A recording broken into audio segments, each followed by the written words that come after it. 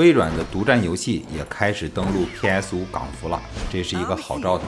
毕设的完美音浪 HiFi Rush，这是一个音乐游戏，是那种单线剧情闯关的游戏，有连招，有格挡，有躲闪，还能憋大招，听着像不像是个动作游戏？还能召唤队友射击。游戏难度不算大，像我这种手残党表示可以一战。游戏中行走路线到处都有指示标识，不会迷路，特别适合像我这种不喜欢玩开放世界游戏的玩家。游戏中到处都有血包，也不用担心血量问题。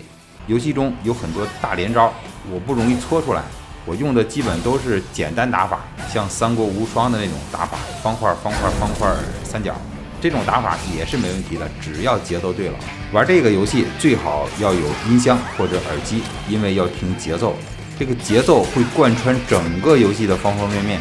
其实，在打斗的时候并不算难，像我在《只狼》里学的那点皮毛入门的弹刀，在这里绰绰有余。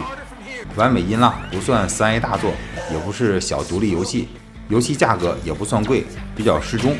游戏的豪华版多了一些服装。如果你特别喜欢这种游戏，建议直接买豪华版。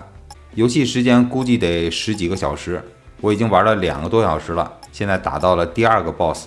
游戏画面是美式卡通风格，像我小时候看的《地球超人》《忍者神龟》，还有希曼希瑞是那种感觉。其实这款游戏去年我在 XGP 库里面就玩过，现在在我的 PC 硬盘里还装着。那时候我就想做个视频给大家推荐一下，没想到耽搁了一年了。不过现在终于有机会在 PS5 平台分享这款游戏了。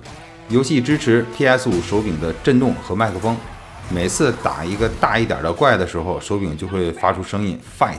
由于最近 PS5 新升级了固件，新升级了系统，PS5 手柄的那个声音很大。为了避免吓一跳，建议把手柄音量调低。从我目前玩游戏的进度来看。完美音浪算是一个爽游，年龄大的或者有电子 ED 的同学都可以看看，看看是不是你的菜。毕竟它在 Steam 上评分还是很高的。